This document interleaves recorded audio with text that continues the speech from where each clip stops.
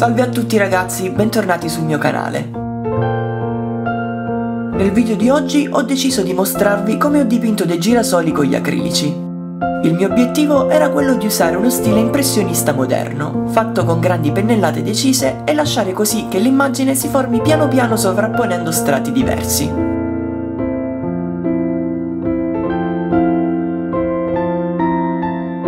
Come prima cosa faccio uno schizzo veloce a matita, semplificando più che posso la composizione attraverso delle forme geometriche. E una volta che sono soddisfatto della posizione, definisco i fiori e il vaso.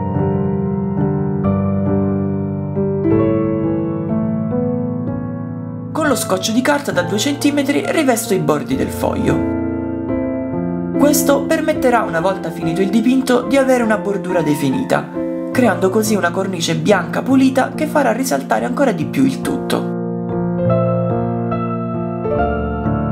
Diluisco sulla tavolozza dell'azzurro cielo con del bianco per poi fare una velatura leggera su tutto il dipinto.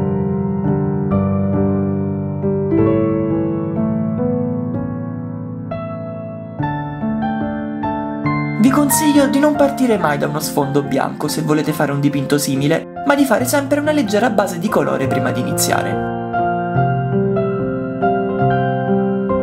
Metto sulla tavolozza del verde, dell'ocra e del bianco mescolandoli tra loro, cercando di trovare una tonalità che mi soddisfi il più possibile. Come prima cosa inizio a dipingere i piani che stanno più in fondo nella composizione, quindi in questo caso il verde dei gambi. Senza essere troppo preciso, abbozzo con pennellate decise il verde dei girasoli. Come ho detto prima, questo è solo il primo strato, poi sovrapponendone di altri andremo a definire tutto piano piano.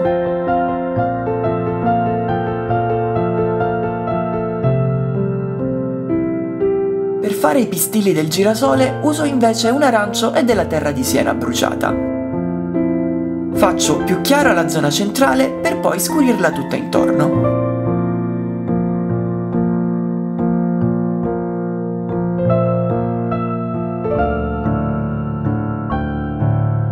Per creare delle texture picchietto con il pennello secco senza utilizzare dell'acqua.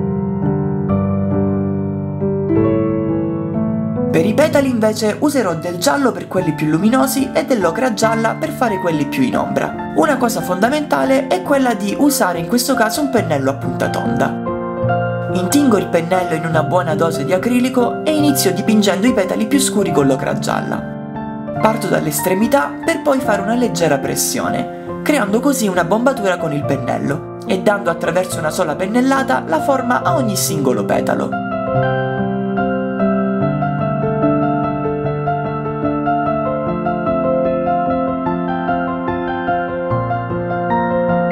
Ripeto lo stesso identico procedimento usando il giallo, cercando di dare forma e movimento a ogni petalo.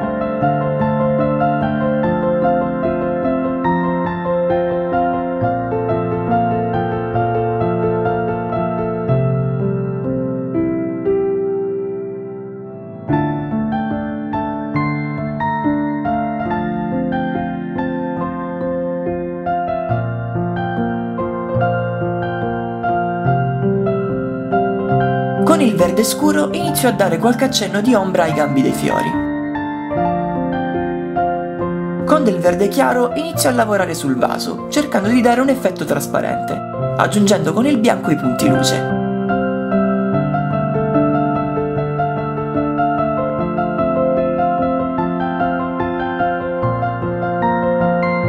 Coloro il piano con una base di terra di siena e ocra, creando zone di luce e zone di ombra.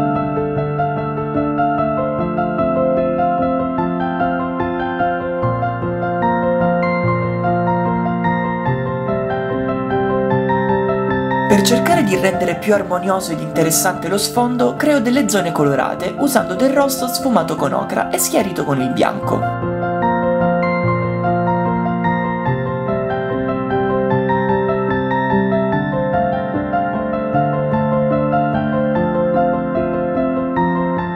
Lascio libera la fantasia nel giocare col colore, alternando punti freddi e caldi.